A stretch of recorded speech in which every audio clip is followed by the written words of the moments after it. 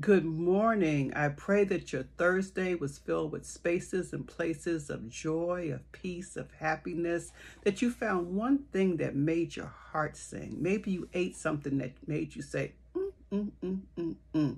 Or maybe you experienced the love of a child, or maybe someone was kind to you. Maybe you saw a beautiful picture. But I pray that whatever it was that you experienced, one thing that made your heart sing. The topic of this is how do you begin your day? How do you begin your day? I know for a lot of us, we wake up and the first thing we do is grab our phone. I know I'm guilty of it, but I tend to grab my phone because I want to know what time it is. I don't have a clock. But then I have to admit, after I see the time, I immediately go into social media or really my text messages and I may spend the first couple of minutes actually seeing what's happened if someone has messaged me over the night.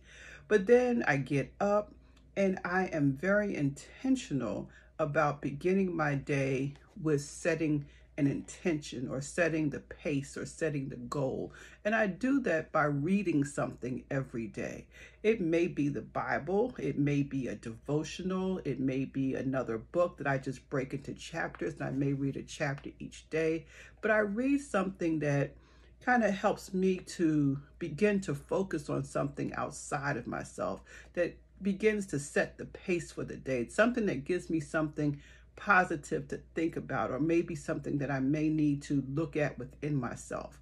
And for that note, I bring to you a good friend of mine. For the last 30 days, I've been reading her book, and it's called The Soul Surrender by Melissa Brown. And she says, 30 days to let go and align yourself with God's will. And I just want to um, read to you something that I read this morning that I think I would invite you to kind of think about. So it says, just like you wouldn't attempt to give somebody directions to tell you where you've never been, perhaps it's time to stop trying to tell God the way your life should go. You have no idea who you really are and what you're here for. And it's only when you surrender to becoming that you are guaranteed to get there. And I'm going to read the last line again. It is only when you surrender to becoming that you are guaranteed to get there. So I encourage you to purchase this book, The Soul Surrender. It's available on Amazon and other platforms. And uh, I believe that it will bless you. I believe it will help to set the pace for each one of your days for 30 days. The book begins with an affirmation and it gives you some readings about her topic.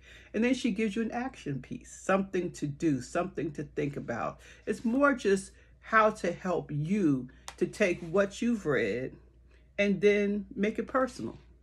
You know, sometimes we read things, we go, ooh, that was good, and we just keep on going. Nothing stuck. But the action steps in this book help you to personalize it, to internalize it.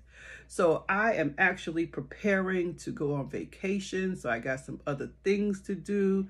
Um, I'm looking at my shirt. Autism is not a disability the beginning of it, the end of it says it's a different ability. So you have a wonderful day. Put your comments in. What do you do to start your day?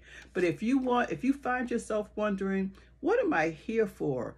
Uh, why am I struggling with my life? Um, why am I not achieving the goals that I want to achieve? As she says in the back of the book, the level of your success depends on the level of your surrender. So I invite you to get this book and begin the process of surrendering. Love you all. Bye bye.